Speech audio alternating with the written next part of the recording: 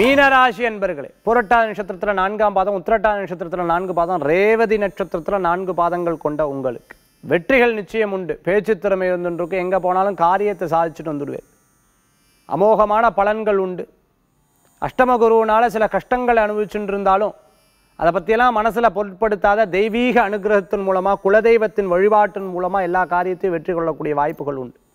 எந்த ஒரு காரியத்தை எடுத்தாலும் தெய்வாம்சத்தில் அந்த காரியத்தை ஜெயிக்கிறதுக்கு உண்டான யோகங்கள் பெற முடியும். குடும்பத்தில் இருந்தக்கூடிய பிரச்சனைகள் தீரும். அன்னோன்யங்கள் கூடி வரும்.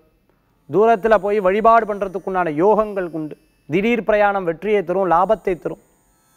ரொம்ப நாளாக இருந்த கடன்கள்லாம் தீரும். ரொம்ப நாளாக பேசாத நண்பர்கள் பேசுகிறதுக்குண்டான வாய்ப்புகள் புதிய வாய்ப்புகள்லாம் தேடி வரக்குண்டானா இருக்கும். அரசியலில் இருக்கிறவாளுக்கு நல்ல முன்னேற்றங்கள் உண்டு இன்றைய தினத்தில்.